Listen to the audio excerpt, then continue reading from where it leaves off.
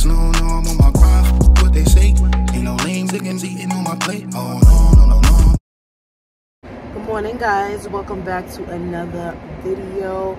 It's your girl Bianca, and today I am back with another chit chat. I want to say, not a vlog, not a challenge, but a little chit chat. I wanted to come on here and talk to you guys um, briefly um, about the wedding.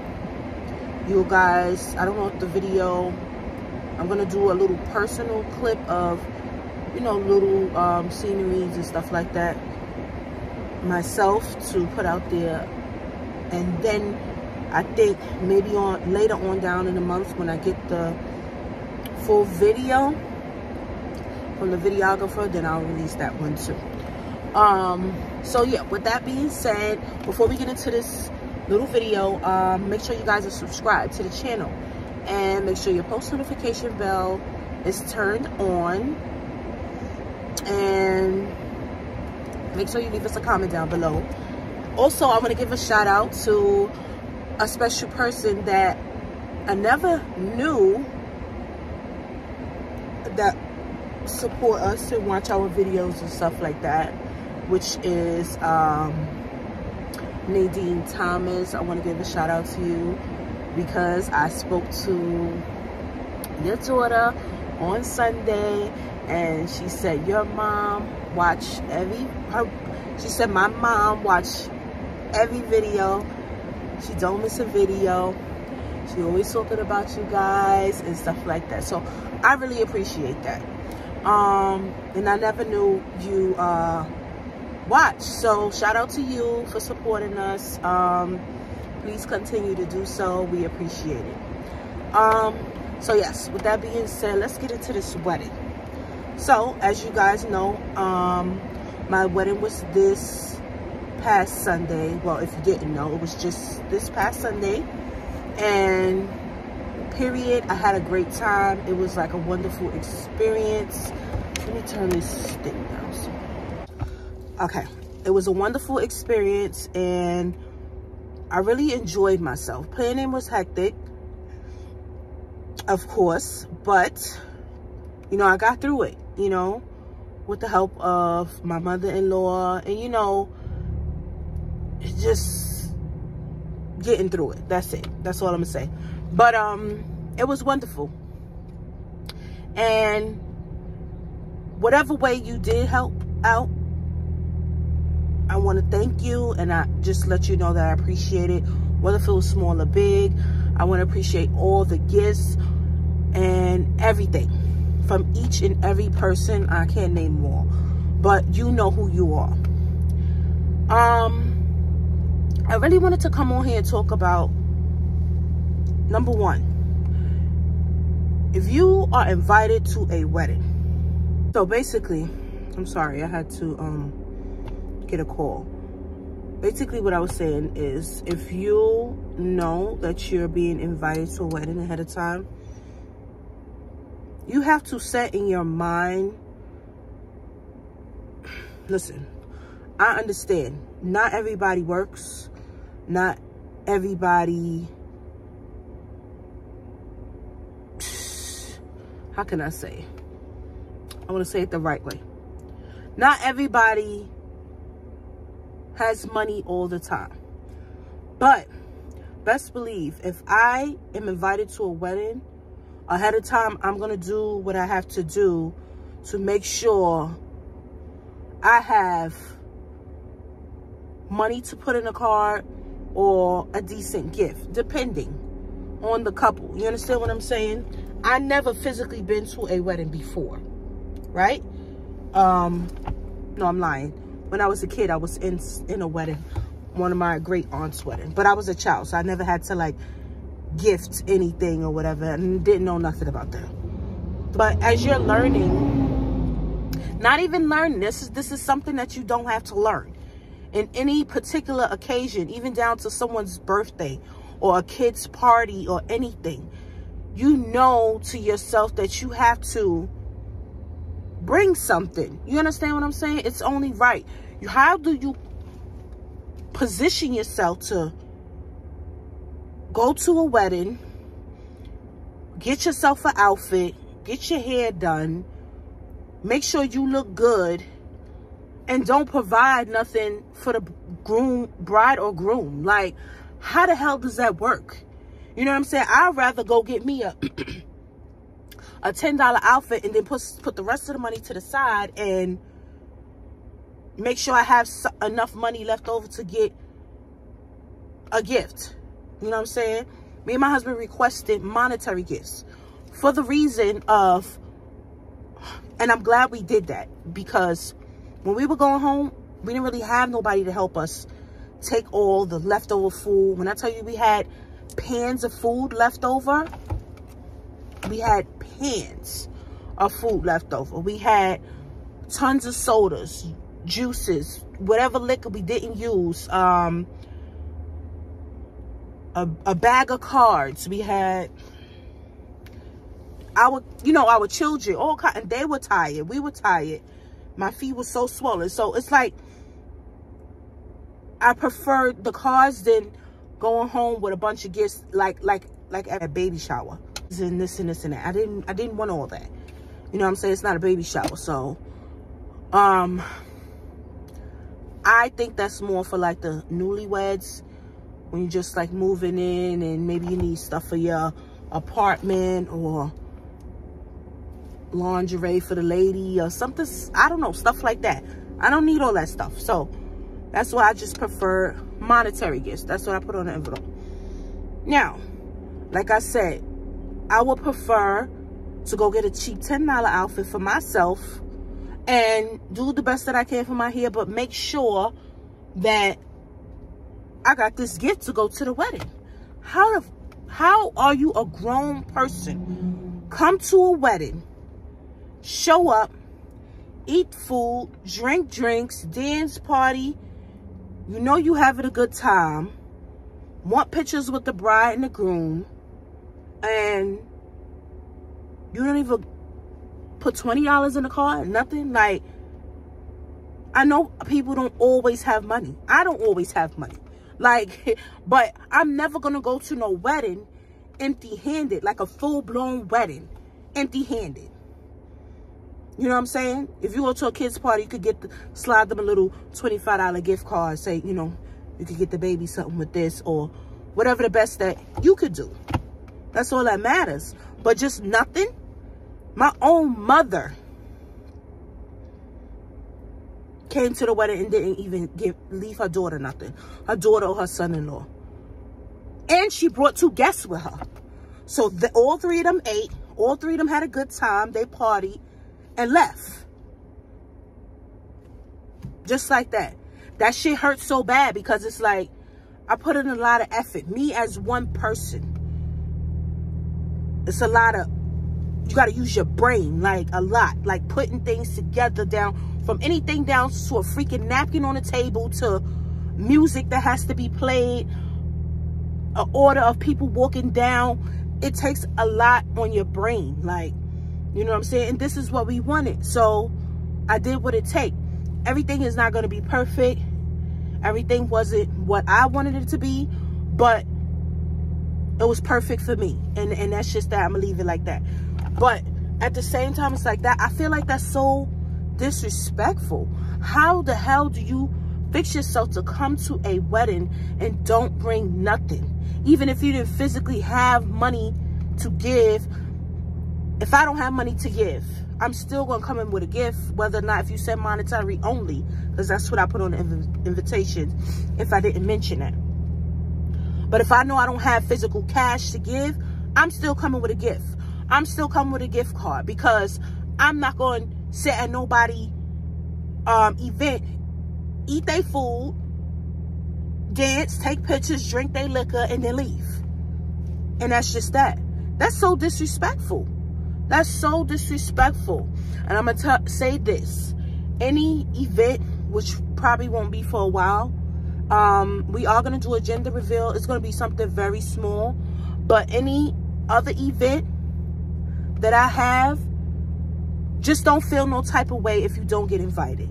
Because I do not come to nobody event without bringing something. You can never say that. I don't care if it's small or if I go out the way, depending on my situation at the moment. I'm not coming to nobody event without bringing something. That's just straight up outright disrespectful. And especially for a wedding. That's ridiculous. Like even your own close personal family. Let's say you didn't have a gift or you know you're not going to be able to bring a gift. Sis, bro, friend, cousin, do you need me to do anything? Listen, right now I don't got it, but I definitely will look out for you, but I can do this for you if you need me to do it. Like, you know, make make the person feel um comfortable or it's kind of like I want to say like you being used like I don't know if that's the right term but it make me feel real mad. It do. Absolutely. You know because I just think that's outright disrespectful. Disrespectful. And then to top it off you complain you complain about certain things. Like, this is not your wedding. This is not your occasion. There should be no reason why you should be opening up your mouth saying nothing if it don't got nothing to do with you. Or you didn't take part in any of this. So I know on my behalf, if I was to ever give something, which would probably be maybe a long time from now. I don't know. A lot of people will not be invited. And it's just that simple. You got people that will bring a guest and they guests don't bring nothing. Or you got, like, I just don't understand it. Or maybe how about you have a whole family full of people. I mean, a whole table, table full of family. And not, you, it could have said everybody, everybody put in a 20 or everybody put it in 10. We all put it together in one car and we just, you know, it doesn't matter how big or small it is. It's just the thought. You know what I'm saying? The thought. Like, you don't know until you do it how expensive a wedding can be and how much headache. But for you to know that you're going to come there and enjoy yourself. And my wedding was really nice. Like, you know, it took a lot to plan it. We did cancel it at once. Well, not cancel, but postpone it at once. Because I just, I knew to myself, like, I wasn't ready and in the place was just doing too much. You know what I'm saying? So it's just like, you know what? Let me just take my time. We're going to do this all over. Let's push it back and then we, we should be ready. You know what I'm saying? And I'm glad I did that because it came out nice. Like I said, everything was not perfect the way I wanted it to be. Even last minute little things I forgot or we left it at home. All kinds of stuff like that.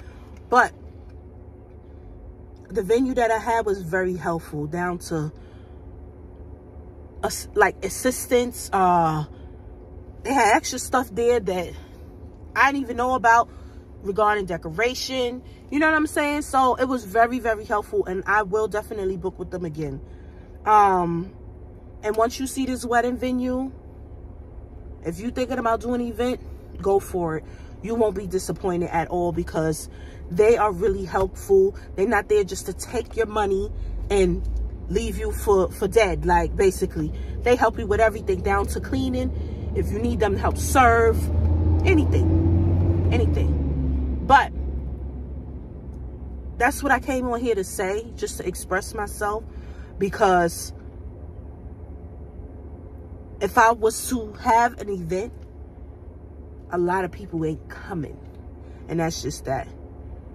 And that shit hurts when it's like you got your close family that you mingle with on a regular and they come to your wedding, smiling your face, pictures, this, that, having a good time. You know they're having a good time. You mean to tell me you couldn't slide me no no gift card, no nothing? Nothing? Like, you didn't even say, all right, I ain't got no money. I'm to bring, I know this is your wedding, but I'm to bring you something for the baby because I ain't have XYZ or it could be anything. I'm never ungrateful for nothing. Nothing. But it's just a point like, how do you put yourself in that position? Like, I'm not to know. I know every last person that was invited to my wedding, every last person that came to my wedding, every last person that brought me something, and every last person that didn't bring me nothing. And I'm just like, damn, like, you grown, you grown. You came with your sister, your mother, your uncle, this, that. I'm giving an example. You know what I'm saying? And you, you didn't bring nothing. Like, how does that work? How?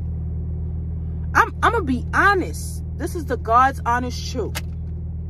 If I was to be invited to a wedding and I was dead broke, honestly, I'm going to try to find something in my house that's not open.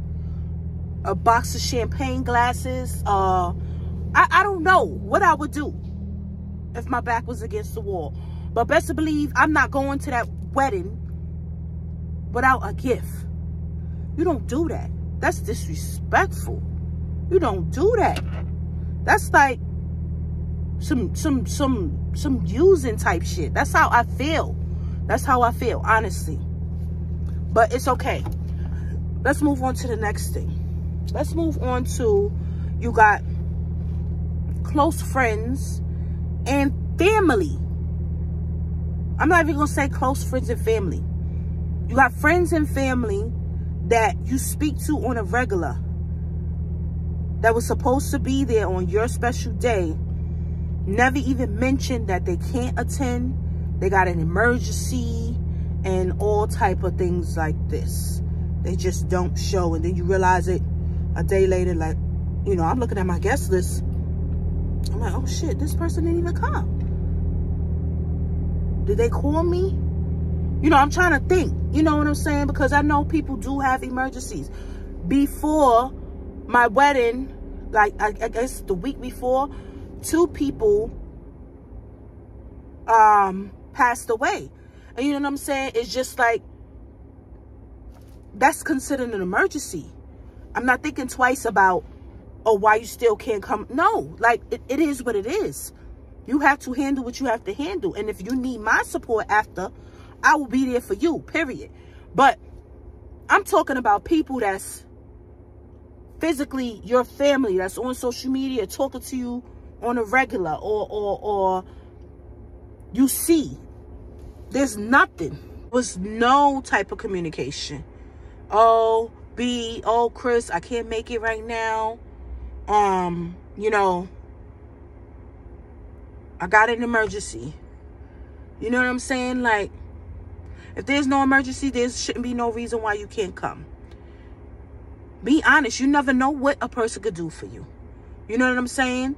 If you if you couldn't travel, you never know if me and Chris could probably put money together to maybe help you find a way so you could be there for us and we could spend time together in pictures. This is a once in a in a lifetime type of thing. Just like a funeral. You know what I'm saying? Just like a, a baby being born or a baby shower. Each occasion is different and special. You know, so you will want to be there unless you really don't care. Then that's something different. But stuff really hurts. Like, but it's okay. Sometimes you just have to deal with it and you move accordingly. And then you just leave people alone. You leave people alone.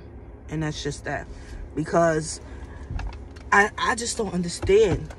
I don't understand. I try to make it to anything possible that a friend or a family member in, personally invite me to and bring something. There's no way I'm coming to your event and don't have nothing. Nothing. There is no way possible. You know what I'm saying? But with that being said, I had a good time.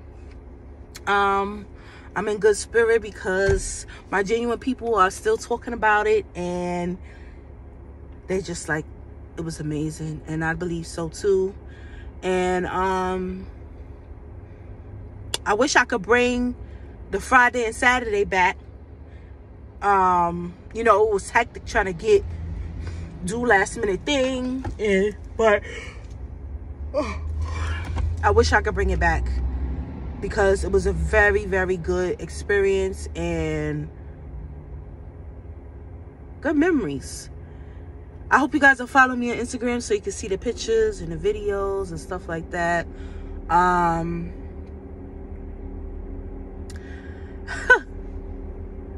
I just had to come on here and make this video because I, I'm just so, I was annoyed. I'm gonna just leave it in the past and I know what I have to do because it's just like crazy. It's crazy. People is bold. People is really, really bold. But um, I hope you guys enjoyed this video. And um, stay tuned for the next video, which will be the clips of the wedding. I'm not going to do a, a long video. I'm going to just do certain important clips until the full video come out with the uh that the videographer is putting together i just have to send him two songs so he can um let play i think he said what a video was running it was something he was telling me so once everything is done and edited i'll just post that and just stay tuned you guys. I'm happy it's over. Um as far as like the planning part so i don't have to bust my brain. We are getting, gonna get ready for our gender reveal we're gonna be having because the baby is coming. Oh and i finally i finally got the um the results in. I have a, I have a strong mind. I'm not gonna open it i opened it already because my husband knows. He just is too eager. He's like i gotta start shopping and stuff like that. I'm just like all right whatever. Just don't tell me. Don't tell me. But um he knows. I don't know. I still want it to be a surprise. None of the kids don't know. So like we plan to do for the wedding which we didn't get a chance to because i didn't get the results in time um my mother-in-law is still going to do her part with um some type of gender um reveal thing and we're gonna have like a nice barbecue for like our family and our genuine family and friends um and just try to have a good time. Um the next day after wedding we was talking about trying to put something else together because the place is just so beautiful. The scenery is nice. They offer a lot and it's not that expensive. So i'm like damn what can what else can we do? But i love you guys. Thank you guys for tuning into this video. Um like i said to my people that genuinely supported us not just came to my wedding ate my food and drunk up my liquor and left i appreciate you guys. I love you guys and you will always be invited to anything i ever have which ain't really much but i appreciate it. And to the people that came ate up my food and drunk my liquor and didn't give us nothing you will never be invited to anything i ever have again. I love you guys. See you in the next video. Peace